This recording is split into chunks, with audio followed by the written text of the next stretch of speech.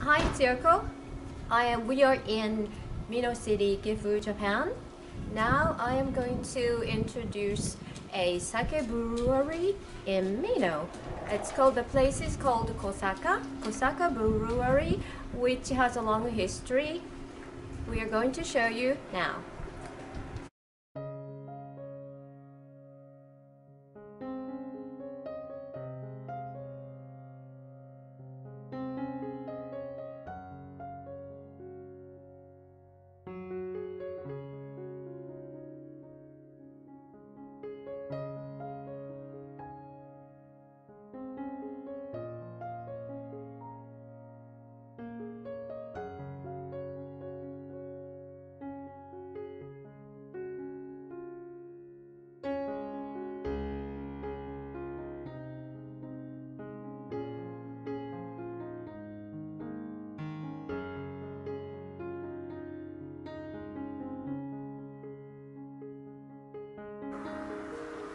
'You know what that is? That is called inuyarai. It's to protect the peace of dogs or or even some say it's for snowing. You know, when it's it snows a lot, it protects from snow from uh, for the, the building.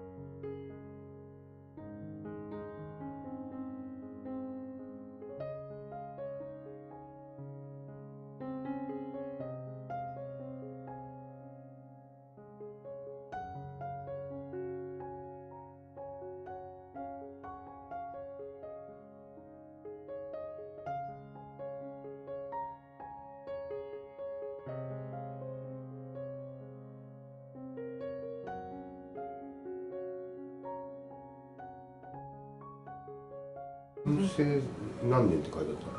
た多分これ間違いないと思うこれは井戸の建物でこの井戸の、これは This is a building for the well. 1820年か1830年 1830s or 20s.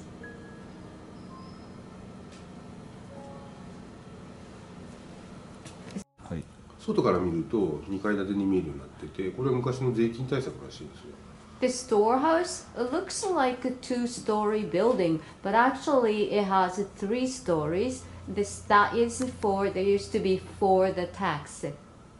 to avoid it. Upstairs there is a space, you know, rooms for the the brew, brewing, brewing, brewing workers. ここ米置いてあったよね。ああ覚えてる。要するに紙袋やけどその昔はあれがあの俵での米も置いてあったんじゃないかっていう話。でここは今米蔵ギャラリーって言ってあのずっとこの時の林さんという方のずっと飾らせてもらってるんですけど借り借りあのお借りそうなやつで。でこれあの仕掛けがあってこの板と壁の間に砂利が入っててその砂利があのネズミが穴掘ると砂利が降りてきてあの穴塞ぐっていうそういう仕掛けだって聞いてます。でああいうそのブリキ板がブリキ板とかかまぼこ板みたいなやつがその穴穴の干し跡みたいな。でだからこれ砂利が入ってるんですよこの中。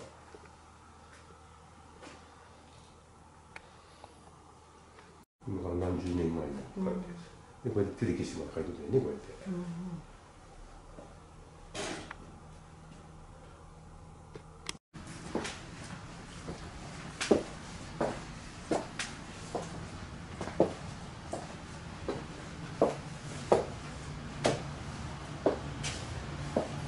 あの海沿使ってでそれを、えっと、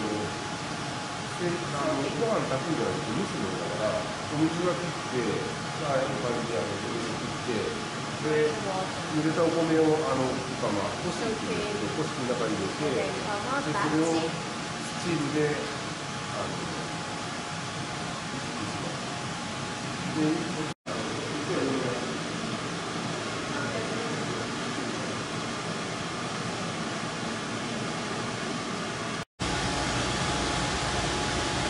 えっと、ここはあのおお米を精米したお米をここに運んで洗って蒸して冷ます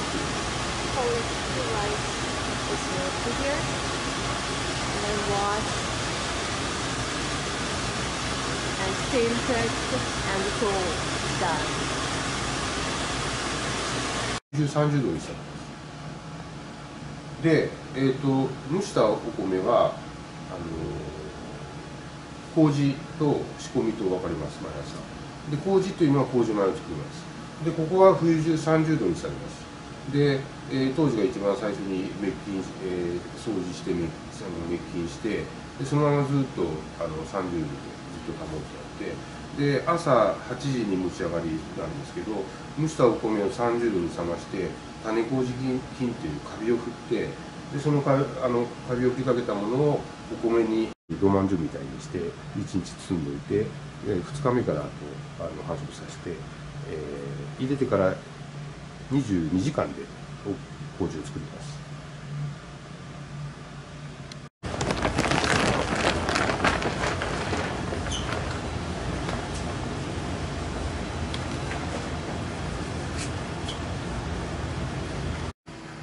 あの主母っていうのは酒の母もしくは元って書いてるんですけどあの酒変酒変から鳥変って言うんですけど鳥変にあのあ母。の元気の元気って書いて元って言うんですけど、一応この酒の元を作ってこれを種としてこの発酵させる。で要するに何するかというと酵母を培養する最初にこのあの酵母を入れて添加してでそれをその中であのちょっと温度高めに培養して大まかな酒を作ってそれに大型仕込みをでお水につけたやつをあのこれちょっと形がうちは古式ってやつでやるんですけどであの古式で蒸して放冷して麹室と、えーに行きます。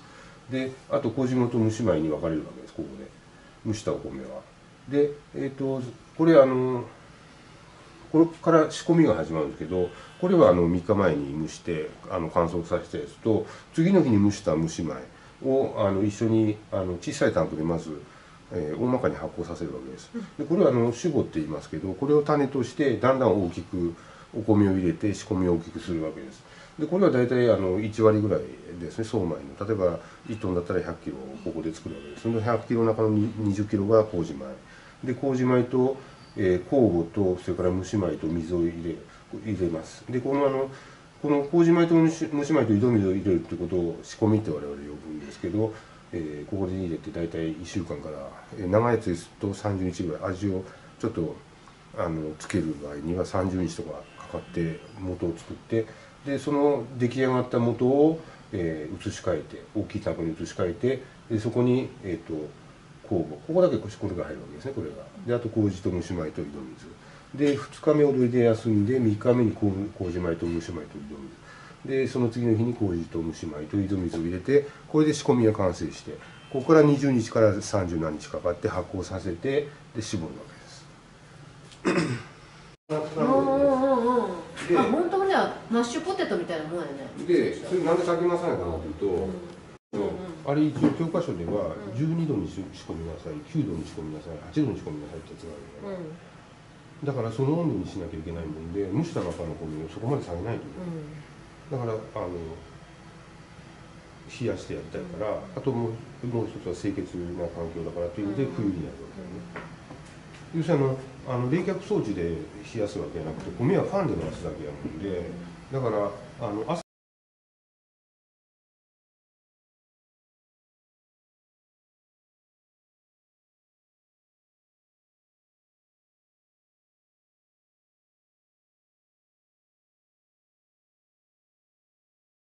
この電球でしょ白だからその下入れてこのこれがあこれが抜いたらいい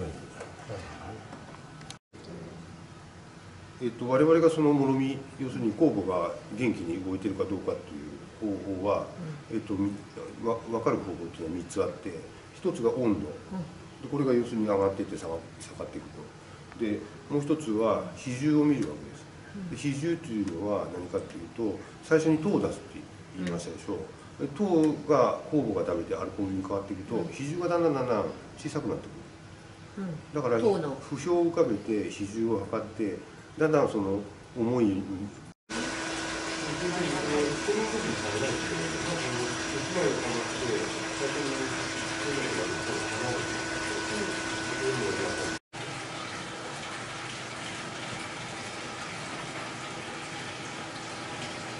開いていた。アルミの板とゴム風船の開い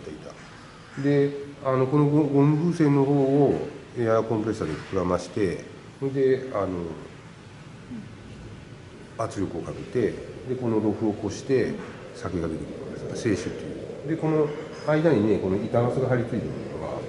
この今板あのタンクに入れて水かけてるとこれが7月過ぎると板ガスとしてつけ物をつけるようにする今の時点だと板ガスであの熱処理すると思います。で僕らは大体65度から70度の間であの加熱処理してあの酵素とかなんかの動きを止めてでその長持ちするようにっていう。